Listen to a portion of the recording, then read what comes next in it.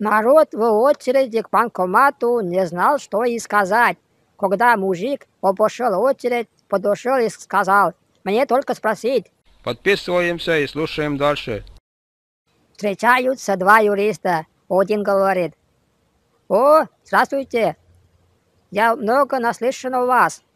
Второй говорит, «Мало ли что люди говорят, а вы попробуйте доказать».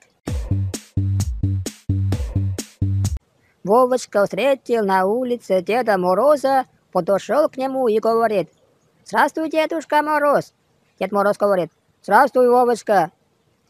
Жаль, что у меня с собой подарков нет». Вовочка говорит, «Ничего страшного, я могу и деньгами взять». Чистят солдаты картошку и рассуждают о тяготах военной службы. Один говорит, «У меня старшина просто зверь». Другой говорит, «Это что? Вот у меня старшина, как папа». Другой говорит, «Это как это?» Одни наряды на уме. Подписываемся, кликаем на колокольчик